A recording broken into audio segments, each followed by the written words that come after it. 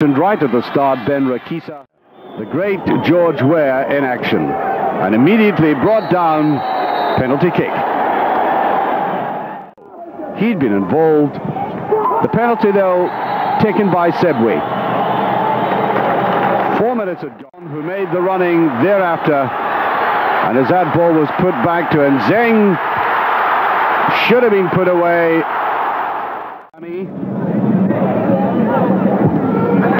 Desperately unfortunate. I said he'd been pushing forward and inevitably there was going to be a break.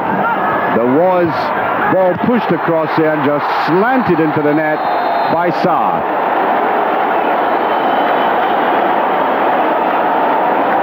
Fifty-four minutes had gone. Oh, Over the free kick. Nzeng. Watch it. It was only a blur.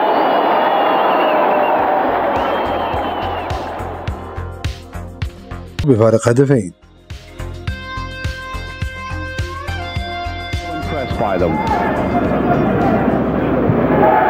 And the opening goal didn't take long. As the ball goes through here, Banzo Kasongo brought down by Freeman. A look of innocence in the face.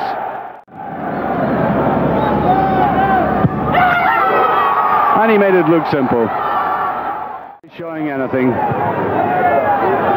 And I think he looked a very dispirited player by the end. There might have been a suspicion of offside here. And Ascendi just rolling it in after Banza Kasengo had done all the running on the right. That put it well beyond Liberia. They simply did not have the, the ability.